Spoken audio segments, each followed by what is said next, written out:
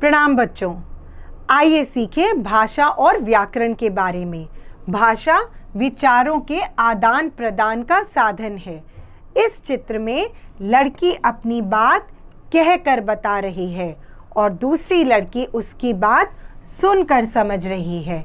यहाँ बालक अपने मन की बात लिख कर बता रहा है और दूसरा बालक उसकी बात पढ़कर समझ रहा है। इस चित्र में बच्चे इशारों के द्वारा अपने मन की बात कह रहे हैं।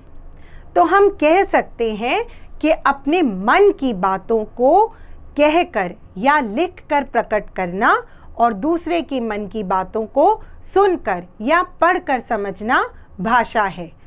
संकेत भी एक तरीके से अपने मन की बात प्रकट करने का साधन है, पर उसे भाषा नहीं माना जाता। अतः भाषा वह साधन है जिसके द्वारा हम दूसरे तक अपने विचारों को पहुँचा सकते हैं और दूसरे के विचारों को समझ सकते हैं।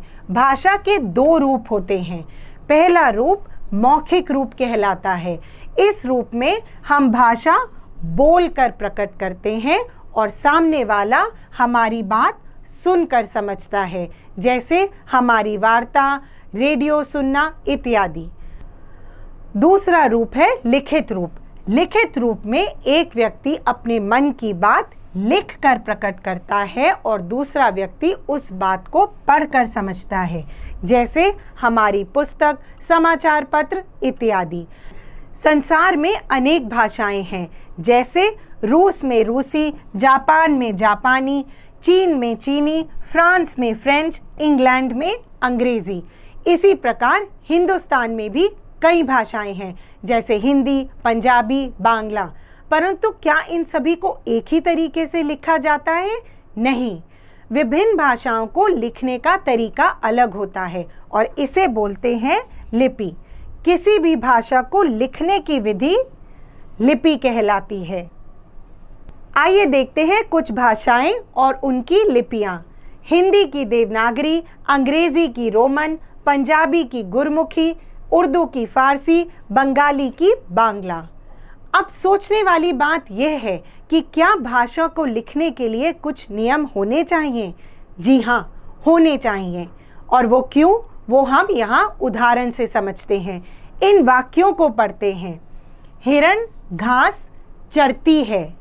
लड़की अच्छा नाचता है। यह वाक्य सही नहीं है। यह वाक्य अशुद्ध है। हिरन पुल्लिंग है।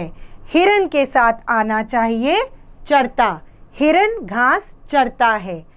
लड़की स्त्रीलिंग है। लड़की के साथ आना चाहिए नाचती। लड़की अच्छा नाचती है।